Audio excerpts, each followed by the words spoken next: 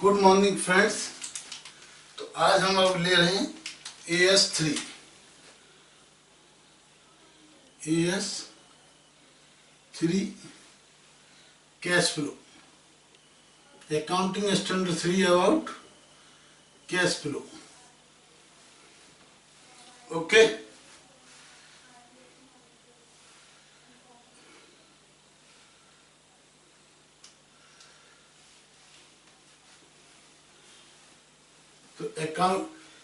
Accounting standard three है about the cash flow preparation of the cash flow okay which is mandatory cash flow क्या है? Mandatory है.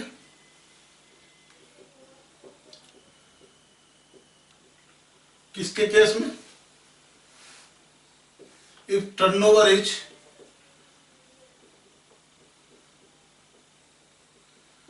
more than 50 C R यदि 50 करोड़ से ज़्यादा turnover है तो ये मैंडेटरी है।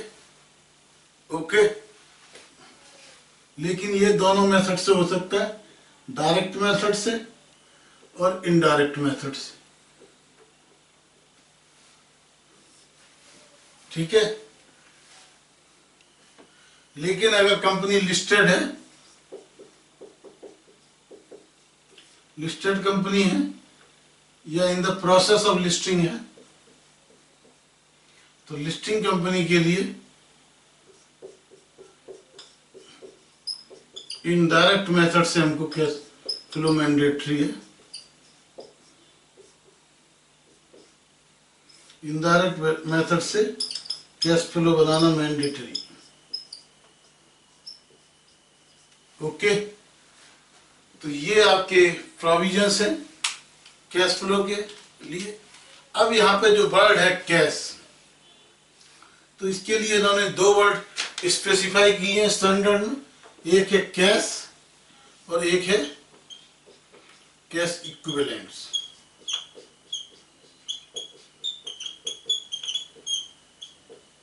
cash and cash equivalents okay cash में भी दो चीज़ें हैं, कैश इन हैंड और cash in age a demand deposit with bank okay और कैश इक्विवेलेंट्स क्या है? कैश इक्विवेलेंट्स है? Short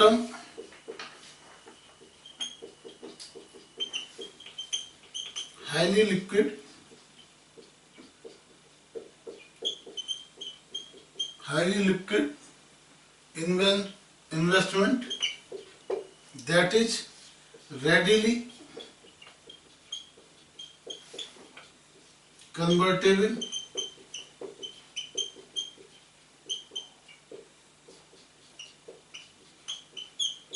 readily convertible in cash. Okay short term का मतलब held for short term three months तक. Okay up to three months normally insignificant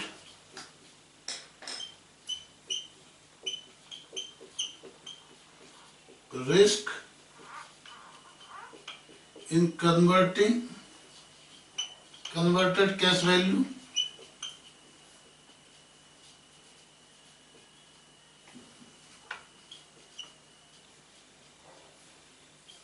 in changes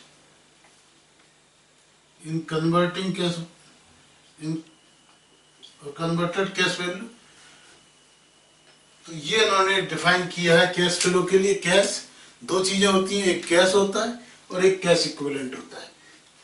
cash क्या होता है? जो भी इन हैंड कैश होता है, या जो डिमांड डिपॉजिट विद बैंक होता है, जैसे सेविंग बैंक अकाउंट हो गया ओके करंट अकाउंट हो गया, जहाँ हम डिमांड पे कभी पैसा लगा, निकाल सकते हैं एफ़ डी आर वगैरह नहीं होंगी ओके और कैश इक्विवेलेंट्स क्या होगा? Short term highly liquid investment short term securities या बैंक में शॉर्ट टर्म तीन महीने से कम का deposit readily convertible in cash और insignificant risk and chances to convert it in cash value तो ये हो गया कैश इक्विवेलेंट ओके अब कैश फ्लो का जो मतलब है, दो वर्ड है इसमें कैश एंड फ्लो ओके तो फ्लो का क्या मतलब है? हाँ। कैश का मतलब तो हमने समझ लिया, लेकिन वर्ड है कैश तो कैश फ्लो का मतलब है फिलो फिलो का means inflow and outflow inflow भी किसका? कैश और कैश इक्विवेलेंट आउटफ्लो किसका? Cash and cash equivalent. Okay.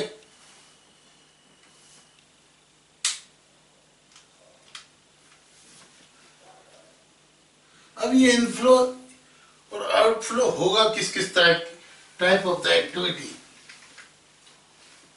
ये जो इनफ्लो और आउटफ्लो होगा, ये बेटे, ये स्टैंडर्ड क्या कहता है? जो सारा जो कैश आता है है ना, उसको थ्री पार्ट्स में इसने डिवाइड किया। है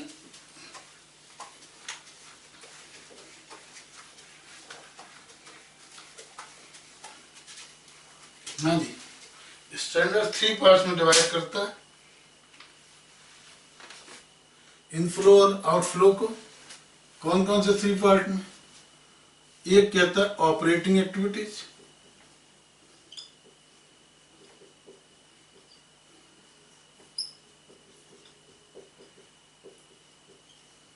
ऑपरेटिंग एक्टिविटी दूसरी इन्वेस्टिंग एक्टिविटीज़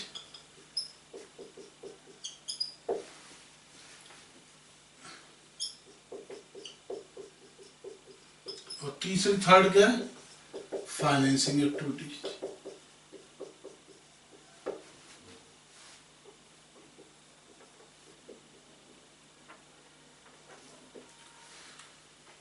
हाँ जी तो ये एक्टिविटीज़ क्या होती है? विच आर रिसीव्ड और पेड क्योंकि इनमें दोनों में इनफ्लो भी है और आउटफ्लो भी है। इसमें भी इनफ्लो भी है और आउटफ्लो भी है। इसमें भी इनफ्लो भी है और आउटफ्लो भी है। Okay रिसीव्ड और पेड है ना या recovered from producing activities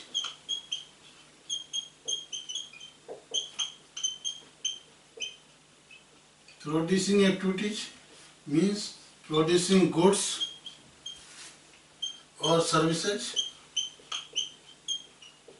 Producing activities okay that is sales sale of goods and services sale of goods and services okay royalty fees commission okay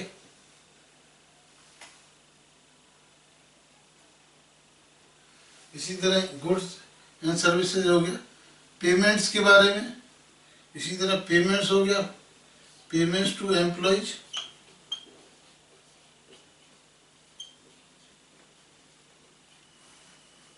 ये सारी चीज़ें आ गई। हमारी ऑपरेटिंग एक्टिविटीज़ में okay.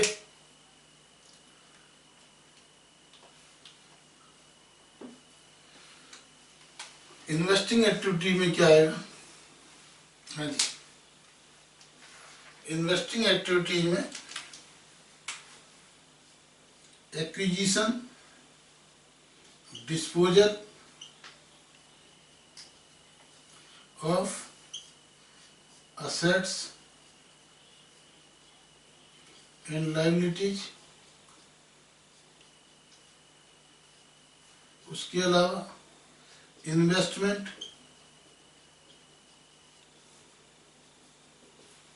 in shares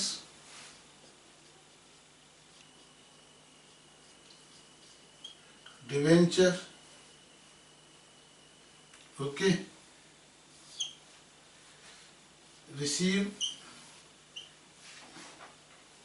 being or payment of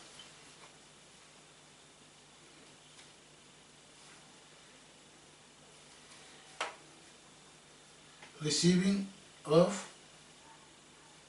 interest and dividend. Okay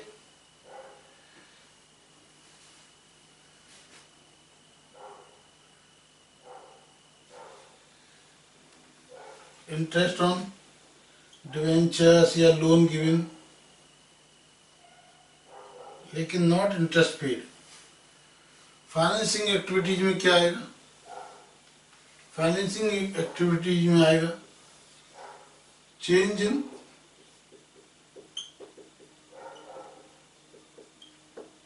equity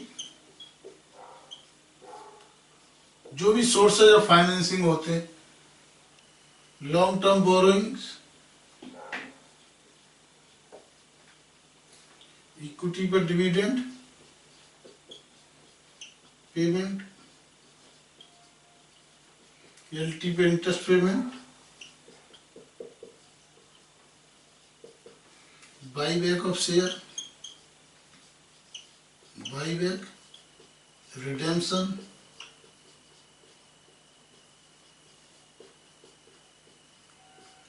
loan payment तो basically आप क्या समझेंगे, इसके अंदर जो liability side of the balance sheet की चीज़ें आती हैं, इसमें असेट्स वाली आती हैं मेजर मेजर और ऑपरेटिंग एक्टिविटी में प्रॉफिट एंड लॉस वाली एक्टिविटीज़ आती हैं। लेकिन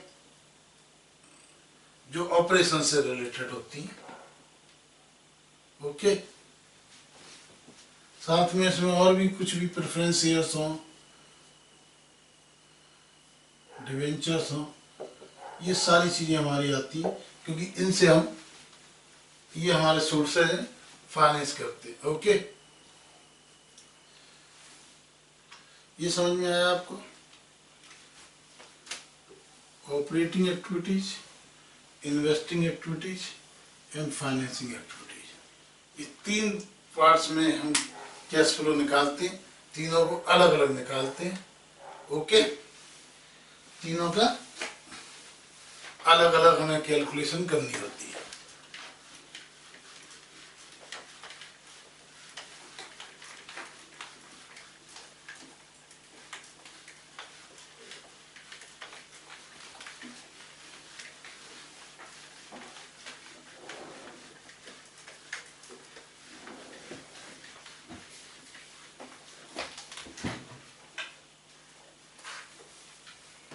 ओके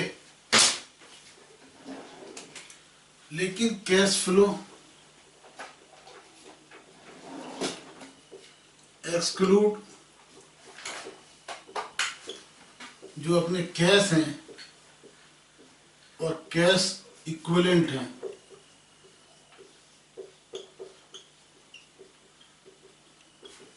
कैश से यहाँ पर और कैश इक्विवेलेंट से यहाँ पर जो पेमेंट होता है या रिसीट होती है पेमेंट एंड रिसीट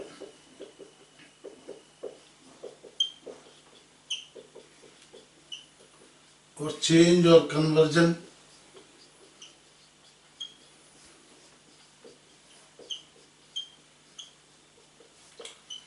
ये सब कुछ कैश फ्लो में नहीं आता।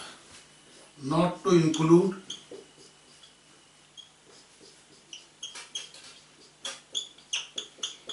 in cash flow केवल आपको क्या करना होता है? Only reconciliation is to be prepare आपको केवल रिकन्सिलेशन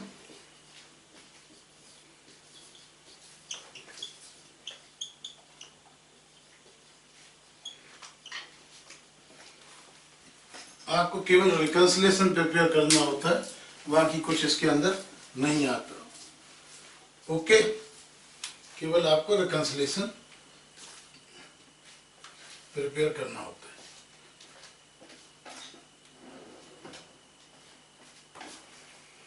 अब ये जो कैश मैनेजमेंट होता है, इसमें क्या क्या इंक्लूड होता है?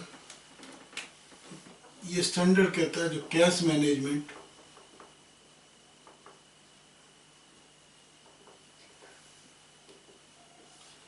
includes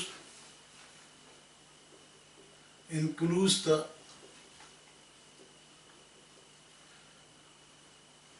includes the investment of investment of excess cash excess cash or cash equivalents excess cash और कैश इक्विवेलेंट का मैनेजमेंट भी कैश में इंक्लूड होता है तो जो हमको रिपोर्ट करनी होती है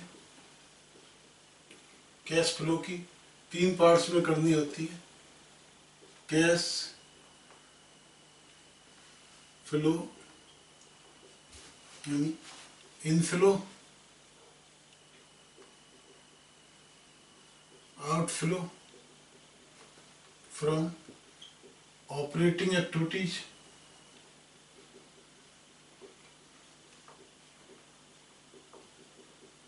फिर हमें करना होता है cash flow outflow from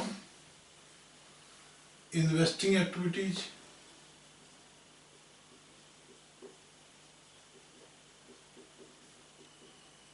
फिर हमको करना होता है cash flow inflow outflow from financing activities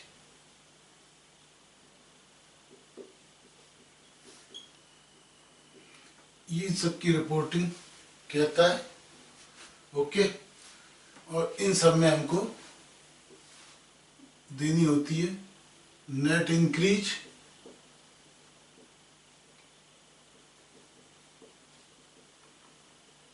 and net decrease इसमें भी देनी होती है नेट इंक्रीज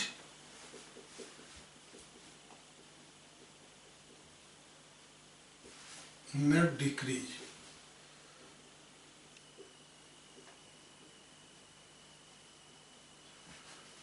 इसी तरह फाइनेंसिंग एक्टिविटी जो हमें देनी होती है। Net increase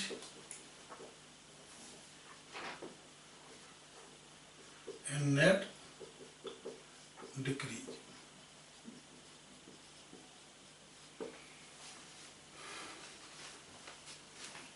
okay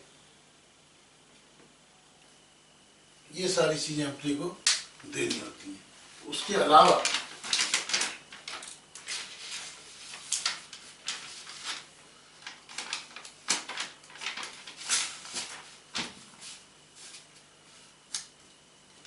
कुछ कुछ चीज़ें हम आपको बताएँगे जिसमें कंफ्यूजन हो सकता है। आ जाइए इंटरेस्ट रिसीव्ड हाँ जी। हम समझते हैं interest receive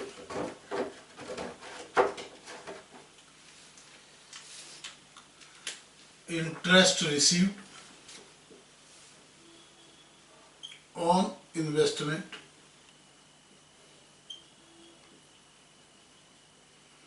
interest receive on investment क्या है? That is investment activities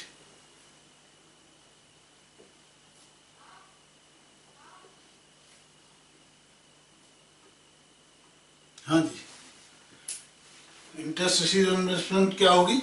investment okay on investment और इंटरेस्ट रिसीव्ड ऑन इसको हम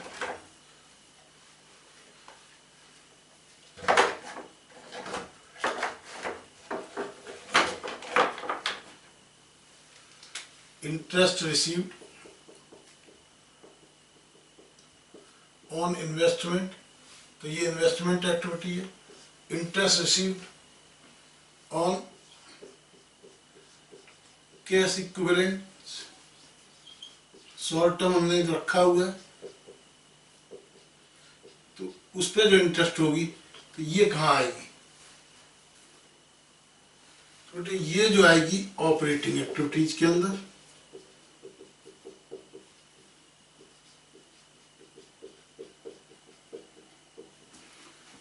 इसी तरह इंटरेस्ट रिसीव ऑन रिसीवेबल्स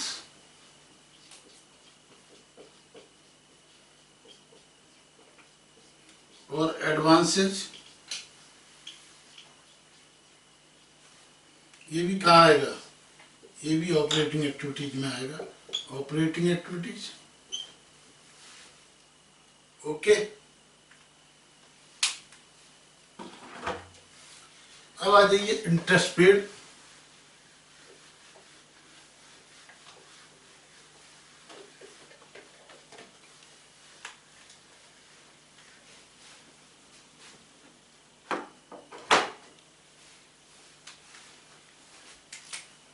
हाँ जी।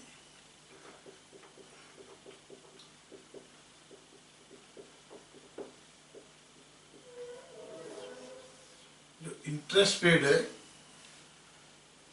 On loans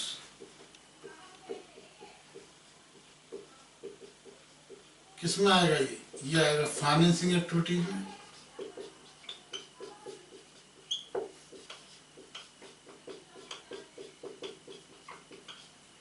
Interest paid on loans financing activities में ओके इंटरेस्ट पेड ये लोन्स का मतलब है टर्म लॉन्ग टर्म लोन्स अब interest on working capital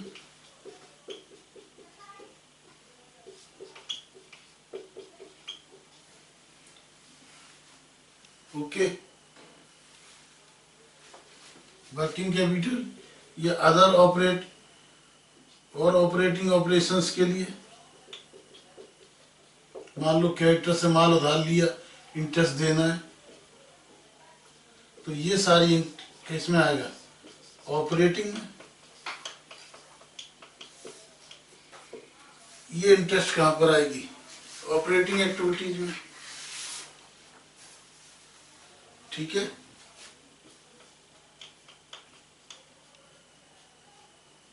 तो cash flow from interest inflow और outflow from interest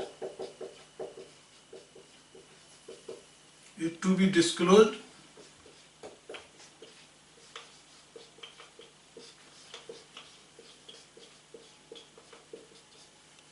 ये हमको सेपरेटली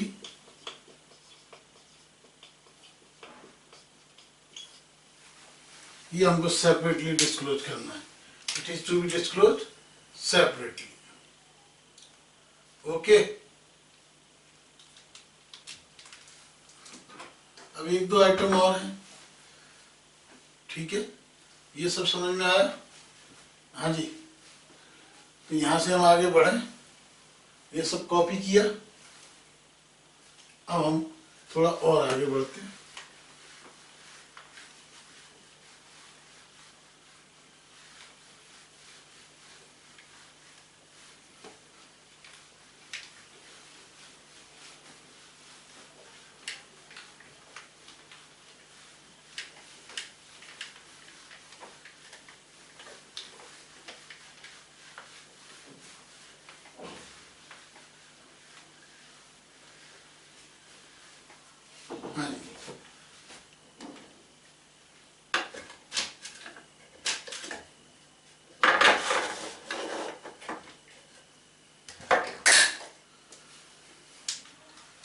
अब हम समझते हैं dividends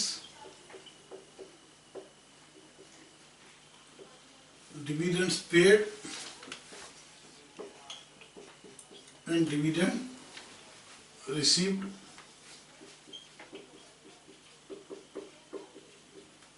dividend paid and dividends received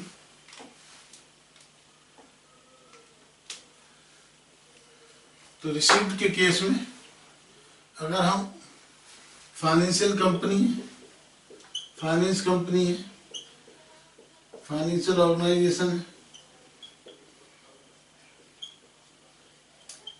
है बैंकिंग और फाइनेंसिंग का जैसे हमारे काम या हम मैन्युफैक्चरिंग या अदर कंपनी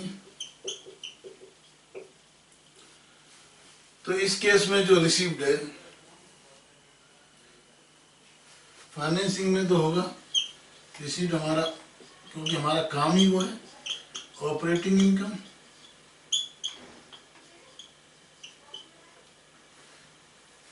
और इसके लिए हमारी इन्वेस्टिंग इनकम होगी।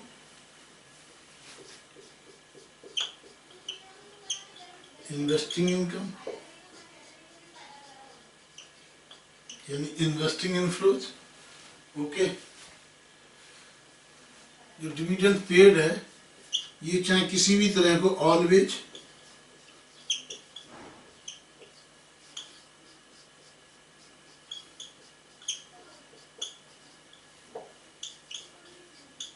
फाइनेंसिंग एक्टिविटी जो भी क्योंकि ये उन शेयर्स पे और प्रेफरेंस शेयर्स पे दिया जाएगा, जो हमने, ठीक है, जो हमने शेयर्स इशू किए हैं या जिनसे हम फाइनेंस करते हैं।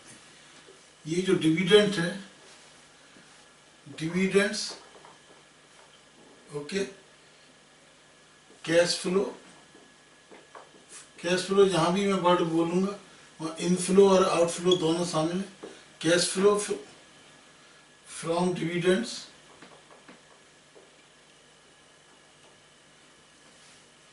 है ना, should be disclosed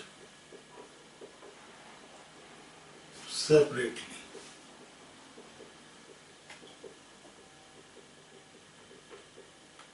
जो भी कैश फ्लो है फ्रॉम डिविडेंड इसको आपको सेपरेटली डिस्क्लोज करना है। ओके हाँ जी, ये समझ में आया? यस सर अब अब हम चलते हैं। थोड़ा और आगे। That is foreign currency transactions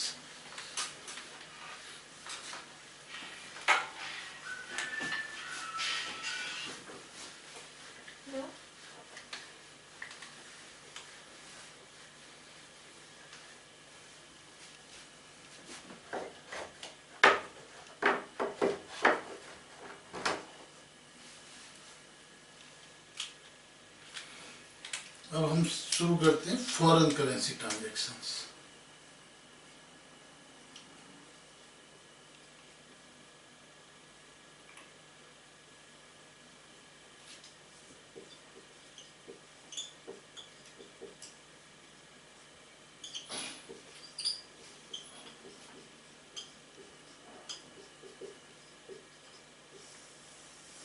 हाँ जी foreign currency transactions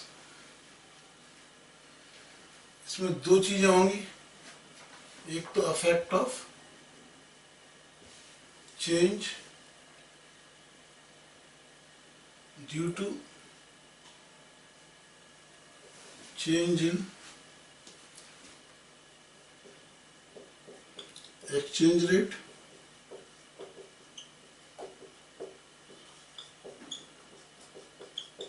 okay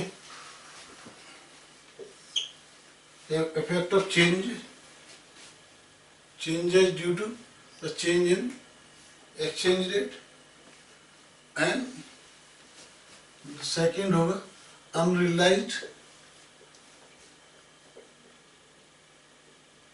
gains oblique losses unrealized gains or losses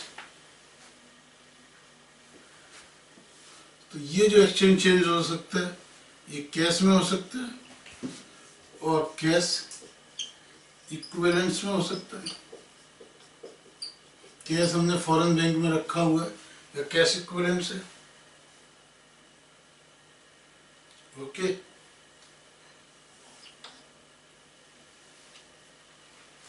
तो हमको क्या करना है? Report separately. Okay unrealised gains और लॉस है. इनका हमें not to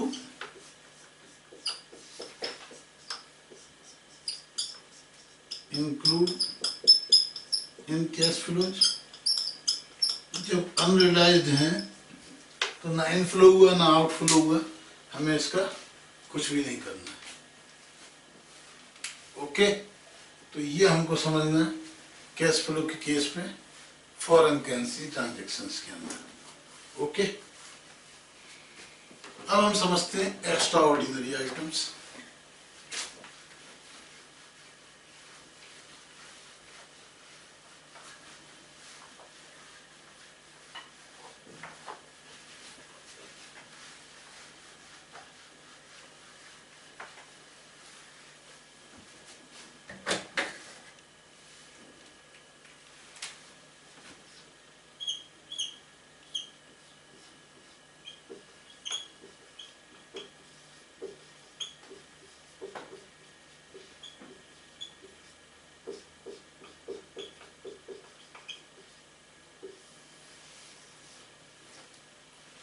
ओके तो जितने भी एक्स्ट्रा ऑर्डिनरी आइटम्स होंगे, जो नॉर्मल ऑपरेटिंग नॉर्मली नहीं है, लेकिन एक्स्ट्रा ऑर्डिनरी आइटम्स ही एक्स्ट्रा ऑर्डिनरी डिविडेंड मिल सकता है एक्स्ट्रा ऑर्डिनरी हमको प्रॉफिट हो सकता है सेल्स हो सकती है, ठीक है?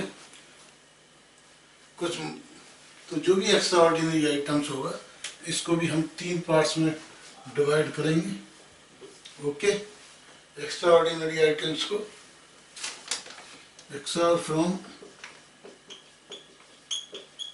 operating cash flow from extraordinary items.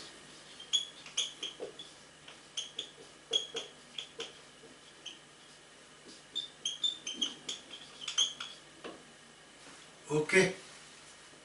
Investing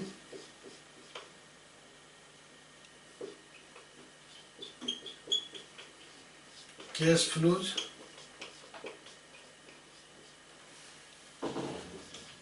from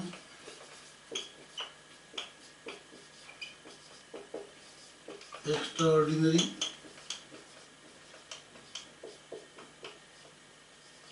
Items. Okay. And financing cash flows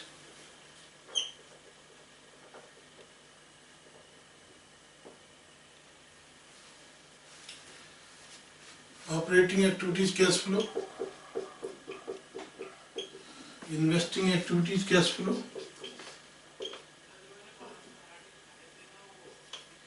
investing activities cash flow and financing activities cash flow from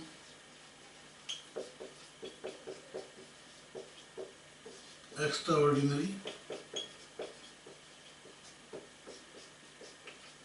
items. Okay.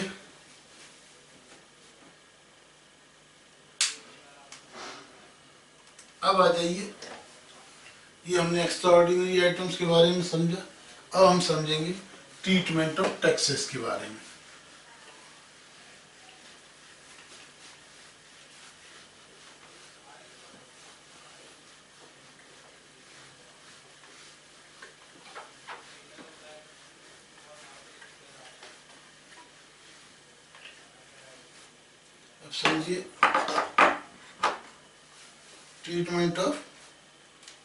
Texas.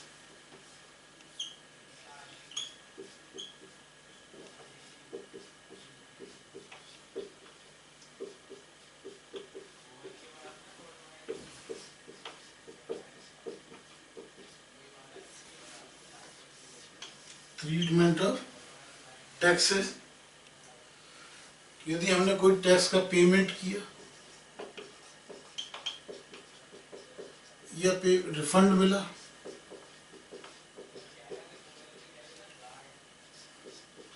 जो कि ऑपरेटिंग एक्टिविटीज़ से रिलेटेड है।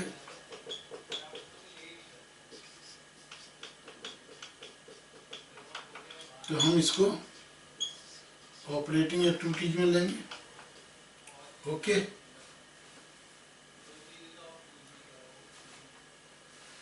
यदि कोई स्पेसिफाइड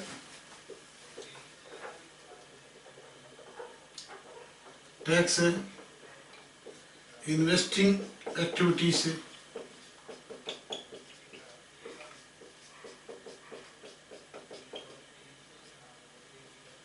तो हम investing activities में लेंगे यदि कोई स्पेसिफिक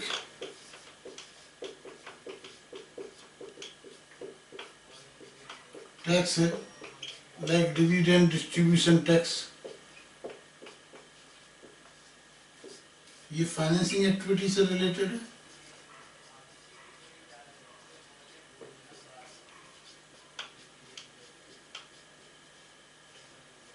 तो हम इसको,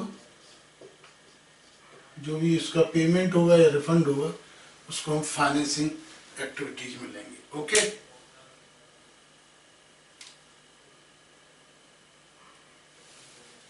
ये आपका आया treatment of taxes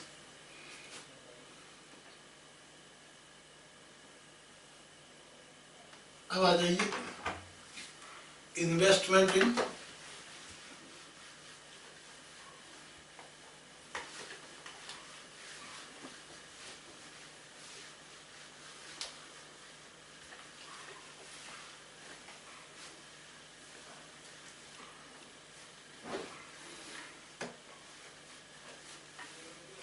investment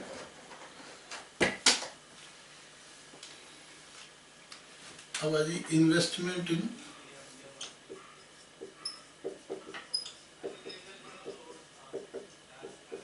investment in subsidiary subsidiaries, joint ventures, and associates.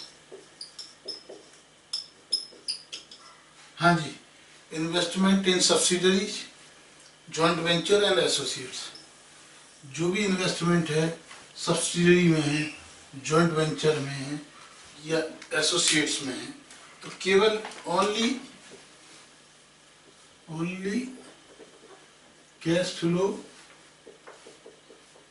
between our sales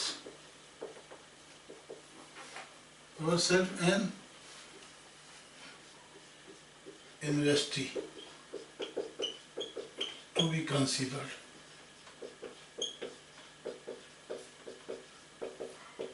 हमें केवल जो इन्वेस्टमेंट हमने इन्वेस्टी को दिया केवल उस कैश फ्लो से मतलब है। बाकी इन्वेस्टी की यहाँ क्या एक्टिविटीज़ हो रही हैं, उन सबसे हमें कोई इसके अंदर कैश फ्लो में देने की ज़रूरत नहीं है। ओके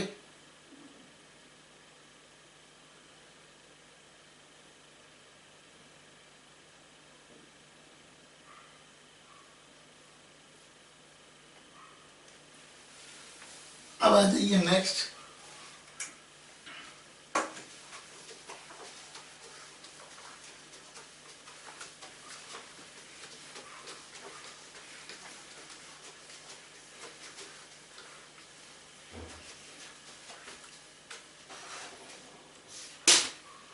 cash flow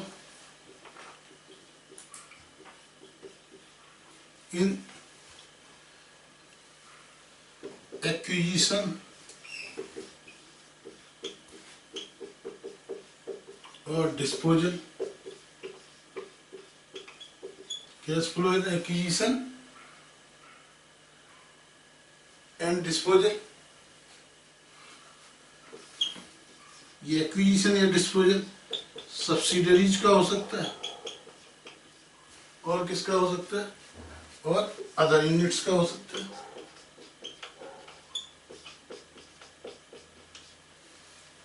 सब्सिडियरी का तो ये हमको क्या दिखाना है? सेपरेटली दिखाना है।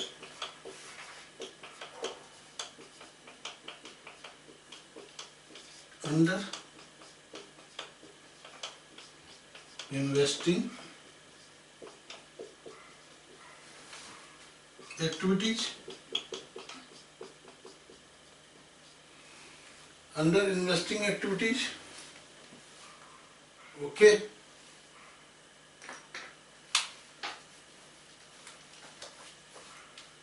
और इसके अंदर भी क्या बोलना है परचेज की प्राइस अलग दिखानी है। परचेज अमाउंट अलग। डिस्पोजल वाली अमाउंट अलग। ये सेपरेट परचेज अमाउंट ओके ये सेपरेट दिखानी है। ये सेपरेट दिखानी है सेपरेट और केवल किस किसमें दिखानी है कितना कैश में दिया गया? कितना कैश इक्विवेलेंट में? ये हमको डिस्क्लोज करना है। यदि हमने किसी और मोड से किया other modes like share exchange of assets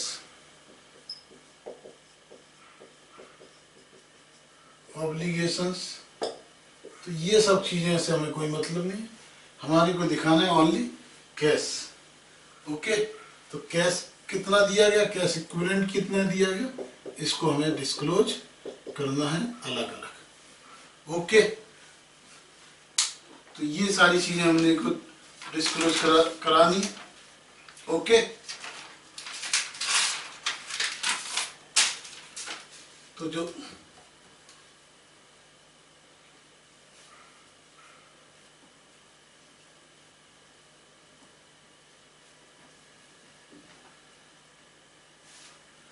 तो जो चीज़ें अदर हैं शेयर है एक्सचेंज है, यानी जो नॉन कैश ट्रांजेक्शन हैं, उनको हमें नॉन कैश ट्रांजेक्शन को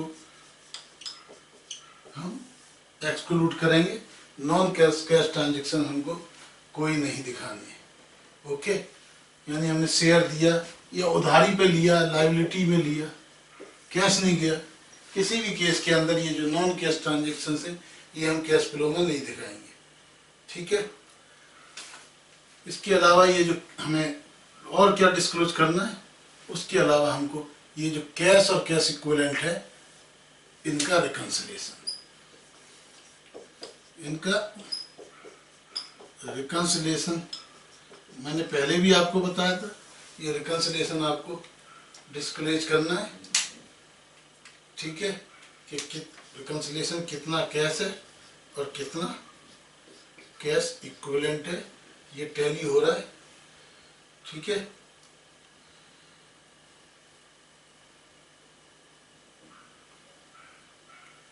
और यदि कोई कैश ये cash not available for use है,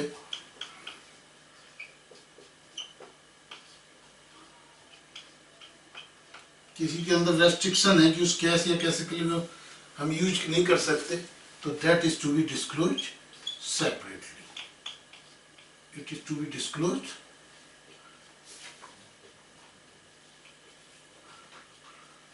separately तो ये हमको डिस्क्लोज करना पड़ेगा सेपरेटली ओके तो ये आपने समझा कैश फ्लो के केस में।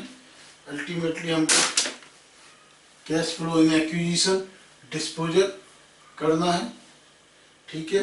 सब्सिडरीज में अदर यूनिट्स में अंदर इन्वेस्टी इन्वेस्टिगेशन में दिखाना है, केवल उस पोर्शन को दिखाना है, जिसके लिए हमने या तो कैश दिया या कैश इक्विवेलेंट दिया। नॉन कैश यदि उधारी पे लिया है लाइबिलिटी क्रिएट हुई है शेयर्स दिए हैं डिवेंचर्स दिए हैं एक्सचेंज असेट दिए हैं, या कोई ऑब्लिगेशन लिया है, उन सब चीज़ों को हमें नहीं दिखाना है। हमको केवल दिखाना है कैश और कैश इक्विवेलेंट और उसके बाद भी कैश और कैश इनकी सेपरेट परचेज की अमाउंट यदि हमने कुछ असर परचेज की, उसके बदले कुछ और खरीदी तो परचेज अमाउंट सेपरेट दिखानी है और डिस्पोजल अमाउंट सब अलग दिखानी है।